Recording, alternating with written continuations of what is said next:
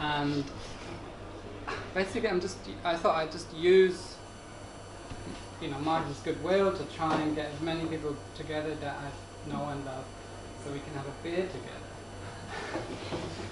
um, but I know that I also have to show something. So yeah, the question remains: Do I show exclusively new work, or do I also show some older work?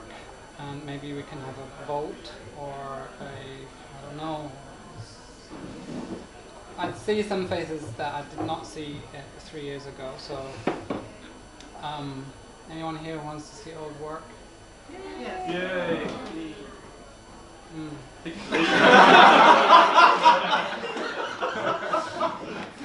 Collision. Collision. Collision. I think would be quite, quite a good one to start with. Okay.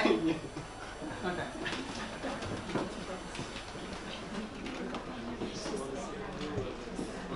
Um, Martin, I didn't get the um, power to work, so it's the power to yeah, work. Is that not working? Ah, yes. Uh, run it through the um, ad uh, the adapter cable. Underneath the table, there's an extension cable. Um, run it off that, and it'll be fine.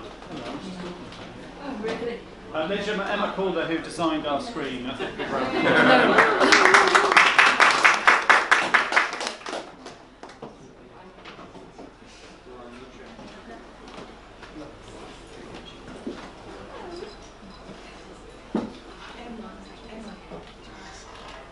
No, it's okay. I was just seeing if I was skipping this work just a long way. Sorry. Might be better than that.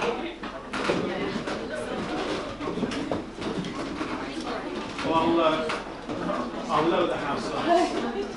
Yeah, please, yeah.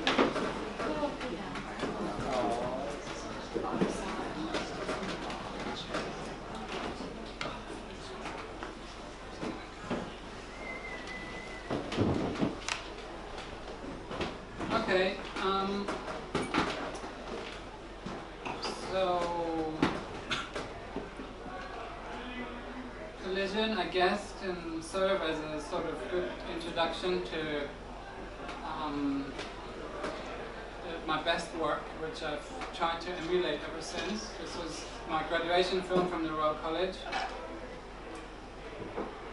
and it's I, I still like it a lot because it has aged quite well, and it at, at the time I was experimenting with loads of things, sound, uh, sound and image relationships, uh, with using abstraction as a way of storytelling. And when I started at the RCA, the uh, um, this country and the uh, U.S. started in, invading Iraq, um, and so that was very much on everyone's minds. And I I made a, a, film which is like a kind of visual music piece, and uh, as my graduation film, and, and, made it really quickly, and then I had enough time to make another graduation film, uh, which so I was kind of freed up to really experiment and, and, and do something where I had no idea if it was going to work. Um, so I looked at American quilt making and Islamic patterns and the colors of the uh, American and British flags and the flags of the Arabic Islamic countries and tried to look at kind of similarities, uh, things that, like trying to use the, the iconography as a kind of shorthand to look at you know, what unites us as human beings.